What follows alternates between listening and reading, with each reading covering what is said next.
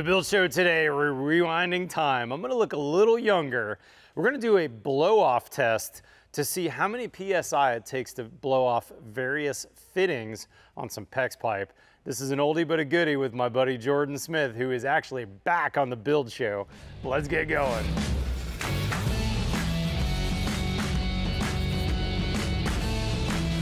We've got five different PEX connectors and I'm curious to see how many PSI they'll hold before they'll actually pop off. We've got a plumbing testing device here that will pump out some serious PSIs with the idea of how many PSI is it going to take to actually blow one of these PEX fittings off. Now we've done a bunch of videos before on several different flavors of PEX, but we've never actually tested how much pressure they'll withstand before they pop off. And I think that this one right here is going to start us off with the weakest of these. But Jordan, walk me through all the different fittings we've got here. All right, so we've got a five-way arm wrestle here. We've got a single manifold pressuring all of these up to the same pressure every single time. I, the first one is the SharkBite push connections. Then we've got the SharkBite uh, clamp, then the SharkBite crimp, and then the Viega crimp, and then we have the ProPEX from Uponor. Which is an expansion fitting, right, with a barb on the exactly. inside. And then this rig, how many PSI can we get out of this, Jordan? Well, this will go up to 14,000 PSI. We won't get nearly that on this. I'm thinking maybe a little bit over 500 on the top end one. So we're not going to be able to see as much resolution as I'd like to eventually get out of this. But the intention of this is eventually we're going to be doing copper and some other stuff that we yeah. really want to take up high. So the main thing that we're testing now is its versus. They're all seeing the same pressure and it's when the first one fails, we'll cap it off and we'll keep going until we have the winner. I like it. We actually have a pool in the office as to which numbers of these are going to go first. So follow along with us. This is number one, two, three, four, and five here. I think that we're going to blow the SharkBite push to connect off first. And then number two, we'll see. Let's get we'll into it. I don't know. We haven't done this before, so you're going to be following along with us. I definitely think we should put the safety glasses on, Jordan. Although beyond that, I think this is safe. I'm not 100% on that though. Yeah, we've got it with hydraulic fluid and water, so it's not going to compress and store a lot of bunch, a bunch of uh, potential energy. But we'll see. All right, let's get it shot. All right, let's get going. All right, so can you read? Can I be your uh, Vanna White and read mm -hmm. this mm-hmm. for you? So the gauge here is quite large. Um, we've got some massive amount of pressure that we can go to on this gauge. But we're basically starting at zero, and at the very top of the gauge, we're at 14,500 PSI. We're just starting to move the needle now. Basically, as he's pumping that, it's pressurizing up. I'm feeling it a little bit. Okay. Starting to feel some, oh, we got water leaking out. Do we? We got water leaking out. Where is it leaking It's leaking of? out of this, uh, this fitting right here. We're gonna have to tighten these fittings a little bit. All right, guys, we're gonna cut because we got some water leaking out of these um, threaded fittings. So hang on a second, let's tighten these up. We'll be right back. Okay, y'all, we're back. We had a little bit of leakage just right here at the Teflon tape where we had two threaded connections.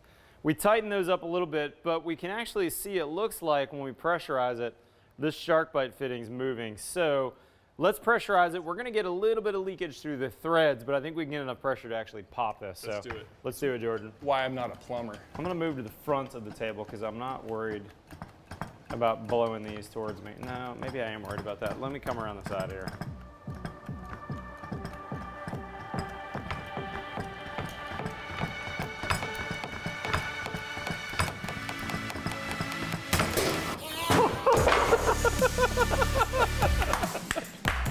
That was awesome.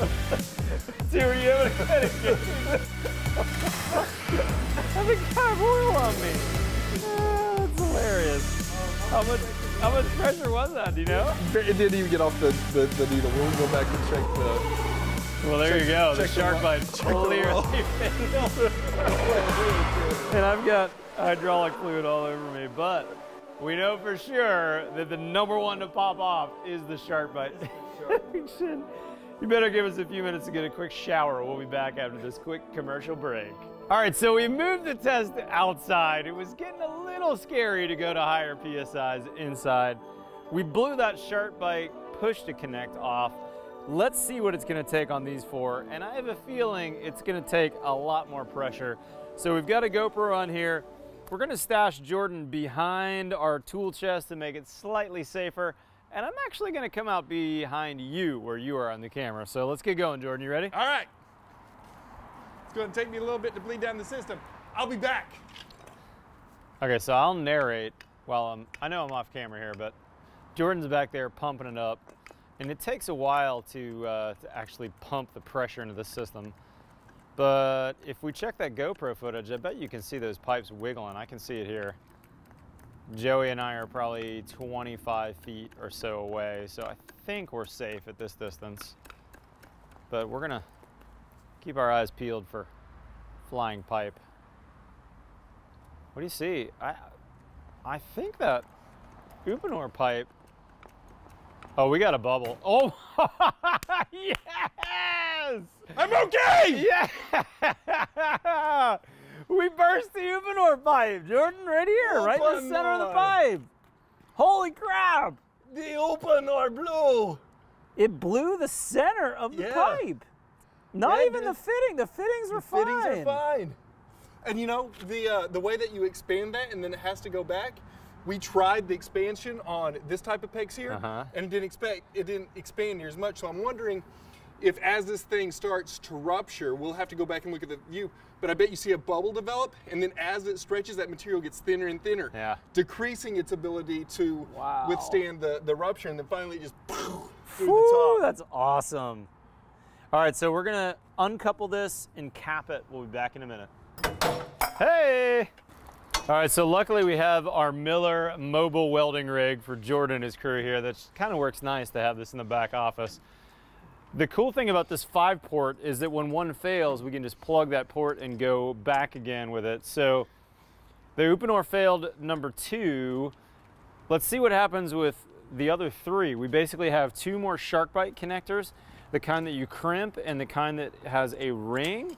And then we also have the Viega, which is a crimp style as well. So it's gonna I be think- interesting to see on those three. I think from here on out, we just fell at the uh, at the actual pipe. At the pipe, you don't Yeah. think the fittings are gonna I don't, fail? I don't think so. I'd be surprised.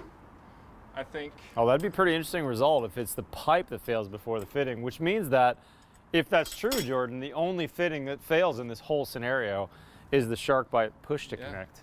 Here, now you got that pipe off. Let me let me show Yeah. these guys this pipe. So this pipe is PEX A, which is the more flexible of the pipes. And check out that burst right there. You can see where it the wall got thinner and it burst through. Unfortunately, we don't have a good pressure gauge because we've got hydraulics. So we don't know what pressure that was, but I think it's really interesting that these fittings, pff, they're good to go. It literally was the middle of the pipe that failed, which is crazy. I would not have expected that. It also shows how much crazy PSI we've got on there. I wouldn't be I wouldn't be surprised at all if we had a gauge on there if that failed at 300 PSI somewhere in there. would so obviously your home plumbing system's nowhere near that. All right, let's get back to it in a second. We are reset up. We have all of our eyes and our limbs still intact, and we've got three pipes to go. All right, Jordan, let's pump it up. Let's pump it up. Remember, guys, we've got SharkBite, Sharp Bite, and Viega PEX. These are all PEX B pipes. And Jordan is pumping it up. We got the GoPro back there again. Let's see what happens. All right, we're off the needle. It's going up. All right. Oh, something popped. What was that? What was it? Oh, it's the backside of the uh, Viega. No way. Look at that. Another wall failure. Backside of the Viega, people.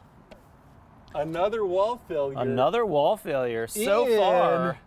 in the non SharkBite because Yeah. SharkBite, shark bite. Viega. Uponor. Yeah, so Viega's the one that failed that time in the wall. So PEX B. Wow, that is it. So I was watching it back there. Can you have any idea what the gauge hit, Jordan? Yeah, yeah. So we were, we were over.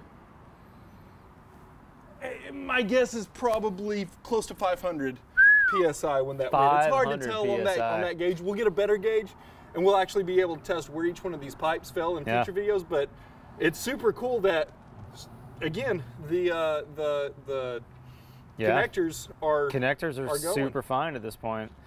We got to plug it and keep going, people. Let's do it. Our YouTube friends want to know what happens, Jordan. What happens? All right, quick 30 second timeout. We'll be right back. Bum, bum, bum, bum. Isn't that good enough? Oh, I got it. He got it. He's a rock star. It's kind of funny that we're doing plumbing tests, and yet Jordan and I are absolute newbies when it comes to Oh. actually plumbing. we just know a lot of facts and stats and have done a lot of plumbing at our own houses, right, Jordan? Yep, I can make things blow up and leak. I don't know whether I can actually make a good Non-leaking Non-leaking. connection. non-leaking And the point of this test was to make a leak. Yeah. So, all right, y'all, we got two left. Shark bite shootout. Both SharkBite pipes, both PEX, same exact pipe, different fittings. Let's see if we get any different results here. We're gonna pump it up and see what the winner is. Come on, Jordan. Let's get going. Okay, so we got the GoPro going again. I got it set up in there. We got the tight camera going. Let's see what we find. Oh, we got a failure! We got a failure! Did you get sprayed? it is another burst pipe. Could you tell any that it was a, any higher pressure? Yeah, yeah, it was a, it was a solid 500 when it went and it blew out right under my protection. Did it really? Oh, Yeah. dang. Through, it, it bounced off the parking lot onto you? Yeah, So here it is right here. It's burst off that backside. It's kind of hard to see. look at that. little dark back there, but it's a pipe, clear pipe failure. We got one pipe left. I think we should burst it, Let's- don't you think? Let's burst it. All right, Let's give us a second this. and we will reset. Okay, y'all, last pipe. Let's see what happens. This is SharkBite. We only have one left on the rig, and this time we've got a camera back here on the pressure gauge. So I'm hoping Jordan can give us a reading on there. Let's do it, Jordan. You ready? Let's do it. I think we're rolling on the slow-mo. Let's go. Do it. Do it. And we're commencing the pumping. Commence the pump. All right, so we are up to 500. 500. 500 already. Oh! And back down. So Out it's the just, front, out the front. Oh yeah, here we go. We can see it right here, Jordan. yeah. It's right here. Oh, that one fit. That one's even more dramatic. Yeah. It's just barely out the. It's just barely out the. Uh, Can you pop that gauge off so we can see it? So the SharkBite PEX is a PEX B, which is less flexible than the PEX A, which was that Uponor PEX, which was really the first one of the PEXs to fail. And look at that. Oh man, that's a big old slit. That's it- wild. It's the highest pressure It's a higher out of all 500? Near, just nearly 500. And we were just a little below that on this one, so it looks like that SharkBite, shark bite, PEX can get up to nearly 500. Yeah. That's pretty impressive.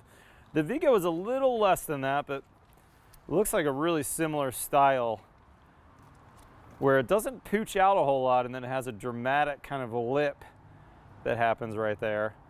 Whereas in comparison, you can really see that the Uponor is stretched out quite a bit. That You PEX A thinning right there. very thin on that wall and then it bursts and you can actually if you look at it from a cross section there you can see how much wider the pipe became in that section Which before which makes sense because this type of connection here, you're actually expanding the pipe. That's one of the benefits of this one is you've got the full diameter as Yep. you go through there because you expand the pipe before you put on the connection. So the fact that this expands and ruptures makes sense makes sense. yeah and then of course our very first one which is that SharkBite i wish i knew how many psi it takes to We're, blow one of these we're off going we're going to retest that because this is the this is the only one like none of this is realistic. All of these will will manage in a normal plumbing, normal plumbing Yeah, I mean, there's there's no real world takeaway from this except that it's interesting. But what's cool about this is this is the only one that failed in the fitting. So clearly, right. thi- everyone else will take whatever your PEX is rated for. Your fittings are going to take that a and higher more. and more, Yeah, a higher rating. exactly. To But where this, one, right? It's the fitting that fails long before the pipe fails. exactly. Pretty cool. Guys, like I said earlier, I don't know that there's necessarily a big takeaway here. And all three of these brands, these are great brands. If you've put one of these in your house, I don't think you have anything to worry about. In fact, we've plumbed houses for years with Viega. We've recently started using Uponor. I've not put SharkBite in a house before, but now that I've seen this test, I can tell you there may be some trolls that, that uh, are dogging on it, but it did really, really well in these tests. I don't see any issues with any of these systems. Yeah. Any other cool takeaways stuff. you can think of, Jordan? No, except for the, like you said, the trolls. That You know, when you see something in big box stores and you think, well, that can't be good stuff, and this stuff you have to buy from a plumbing supply, that's got to be the better thing. A lot of times that's true, Right. but in this case, it's not. That's Yeah. I was impressed by the SharkBite. I didn't expect that. For sure. Guys, comment below. I'd love to know what your takeaways in this video are. What do you think about those SharkBite push to connects? Do you think there's any other takeaways that Jordan and I missed on that? Hit a comment below. All right, guys, we wanted to rerun this to show you that we actually have Jordan Smith back on the Build Show. Jordan's a brand new contributor over on thebuildshow.com. When he left me four or five, six years ago, He's been out building houses. He's a very accomplished building science teacher. We've got Jordan back. We've got some brand new videos on thebuildshow.com with Jordan. So my hope is that you'll go follow him on Instagram and you go check out all his brand new videos on thebuildshow.com. With that being said, guys, hit that subscribe button below. We've got new content here every Tuesday and every Friday. Follow us on Facebook or Instagram. Otherwise, I'll see you next time on The Build Show.